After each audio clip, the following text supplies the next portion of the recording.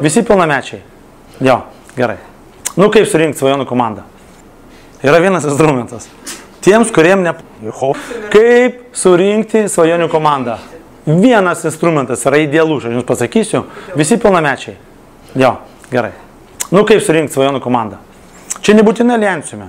Nu, kažkas turi kažkas kitas veiklas, be problemų. Bet žinot, kad realizuoti savo potencialą negali vienas. Neįmanoma. Net, ne, ne, jeigu galvojate, aš būsiu dainininkas, taigi ten būna pas, pas Madoną, ten man atrodo 200 šiam žmonių komanda. Nu, suprantat. Madona žino dainininką. Kaip surinks svajonių komandą? Turėt gerą lyderį. E, tu lyderis. Kaip Ne, surinkti? aš neturiu. Aš tada Bet- mokintis iš kito. Ne, ne, kaip tau surinkti svajonių komandą? Taigi, nu, ne šiandien gal. aš, tada aš nesurinksiu, aš vienas niekas. Surinksi, turi žinoti kaip. Rinkti. Kur, kaip. Nu, rinkti jau gerai arčiau, bent jau daryti. Nu taip, nu. Labai gerai. Čia aišku, labai gerai pasakė, ieško žinių, puiku, gerai, bet iš tikrųjų daug paprasčiau viskas yra. Tik nefilmuokit, aš pasakysiu. Laivo bent jau. Kaip atpažinti žmonės, kurie tinka jūsų komanda? Yra vienas instrumentas. Tiems, kuriem ne po. Viskas.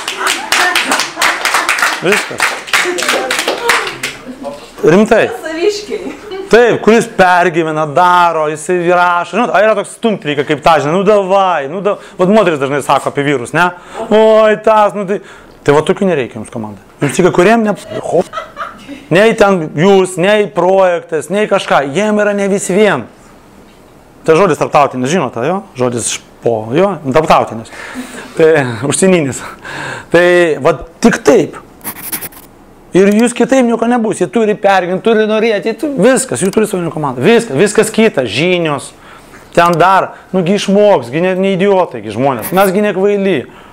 Minutgi pažiūrėkit, nu žmonės jie net, mes galim sakyti dauguma, bet pažiūrė, kai va ten 91 balsavo, nu ne politika, bet atėjo balsuoti 8 procentų, nu kada nepriklauso. Ir per kiekvieną kadenciją mažėjo iki 40. Dabar tik tai Goga padarė su referendumu su dvigo pilietybė, tai pakėlė. Būtų atėję 30 procentų balsuoti. Žmonės atrodo banda, jie vis tiek matogi, kad nieko nesikeičia, kad blogėja. Ir taip pat visur, bet jūs turite surasti, kuriem ne po. Bet, bet gali pakeisti nuomonę. Tai čia nuomonės formavimas šiandien apie tai, bet iš esmės įtaka, matai, kad jis va. Viskas kita nesvarbu. Ką daro klaida? Nu, nemėgstu tas negatyvų pusę. Ieško profesionalo savo veiklos.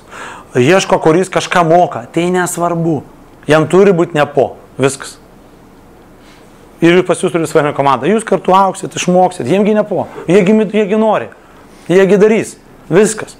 O jeigu jūs reikia tampyti, versti, tingų, negaliu, neturiu, pamirškit. Yra 7 milijardai žmonių. Jums reikia tiesiog kūrėt komandą, tik kiek reikia žmonių, žiūrint, kur jūs esate. Taip, taip, tik taip, tik taip. Ir tada laikę praeisit. Viskas, darom pertrauką.